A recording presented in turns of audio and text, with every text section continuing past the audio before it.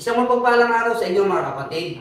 Sa araw pong ito, tayo ngayon ay magdi-DIY ng mga decorated finishes ng ating mga pintura. Papakita ko po sa inyo kung paano po gamitin ang ating Boysen Permatex. Pero bago po tayo magsimula, introhan muna natin.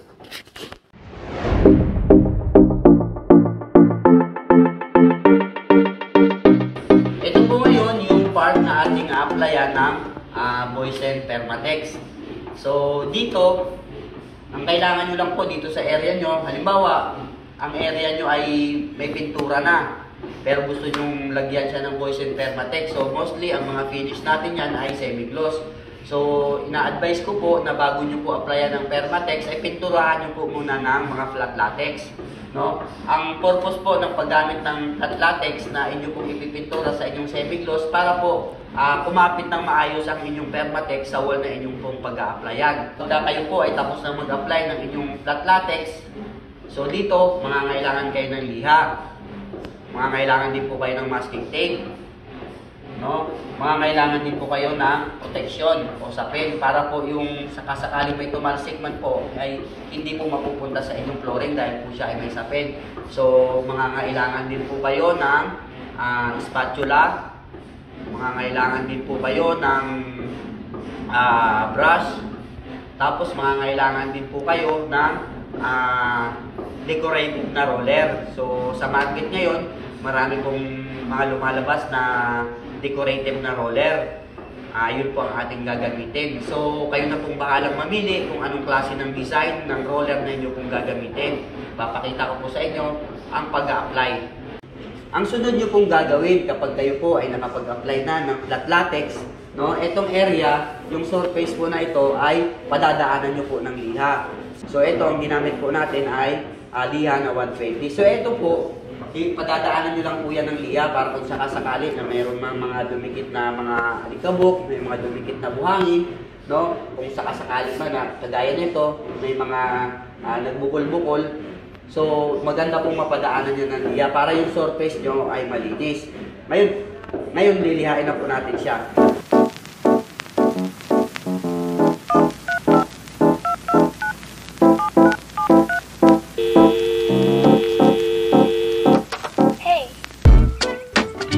Tip nga po pala sa inyo, kapag uh, nandito na po kayo sa gilid, so mostly sa mga ang katabi po niyan ay kahoy na. Ang gagawin po ang gagawin po ninyo ay lalagyan niyo ng masking tape. So ito, dati na po siyang may nakalagay na masking tape although napinturahan po yan pero pag tinanggal natin yung uh, masking tape niyan ay hindi po mapipinturahan itong kahoy kasi itong part na to ay kahoy po yan. So lalagyan niyo po yan dito ng masking tape. Ah, uh, idadagdag ko lang po pala, mga kailangan din po pala kayo ng malinis na basahan. Tapos mga kailangan kayo ng uh, paint tray.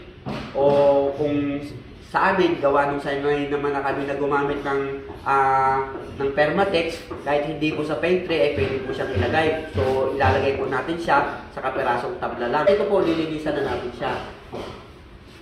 Para mawala po ang alikabok.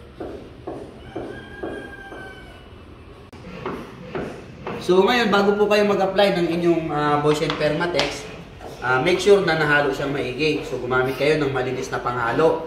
Pwede kung kayong gumamit ng uh, mixing rod, no? Pero mas madali po kung ang iaano po ninyo ay kung ano lang po yung available sa inyo diyan na panghalo, yun pwede niyo pong ipanghalo. Basta make sure lang po na malinis.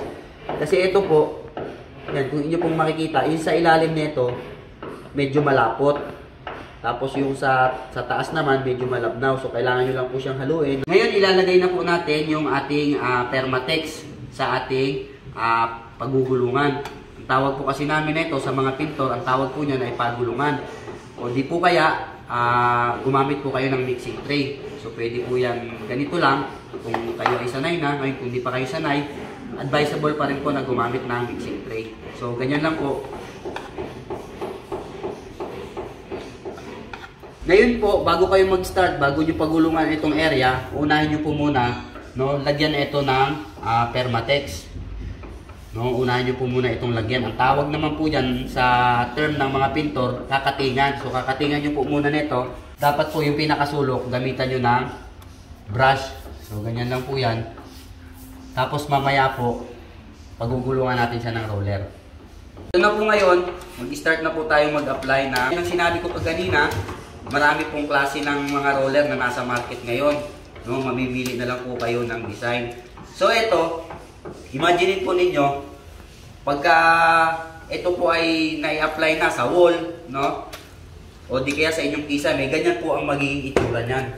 So ito, kung inyo pong makikita, ganyan po dapat ang magiging itsura niyan. Ngayon, pag kayo naman po ay mag-apply na nito, ah pwede pong patayo ang inyong stroke, pwede pong ipahalang.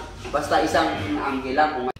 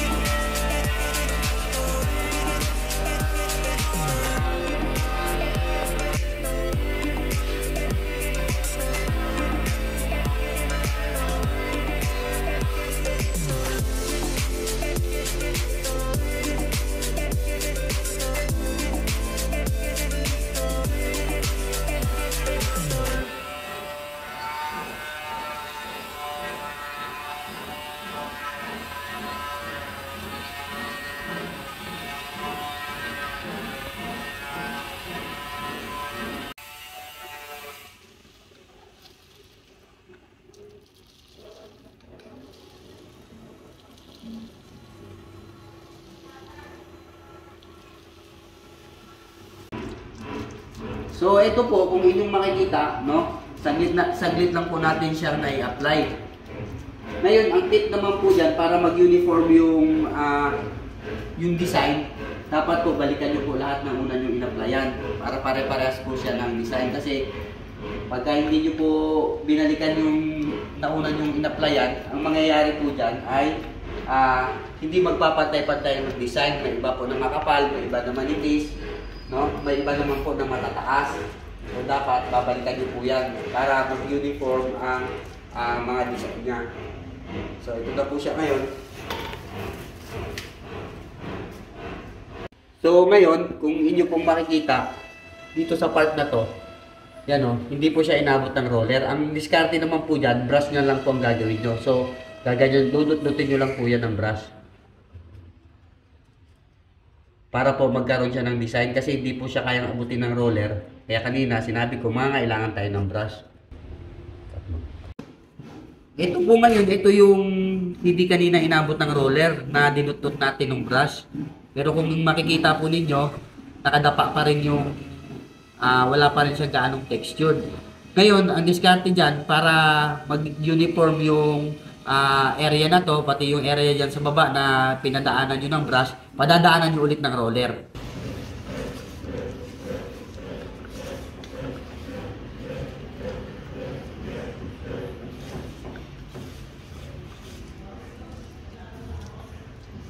So, ito na po ngayon. Tapos na po tayo mag-apply ng ating Permatex. So, nakita ninyo, saglit lang po, nakapag-decorate na tayo ng ating mga wall. Ito po ay pwede sa wall, pwede rin po siya sa ceiling.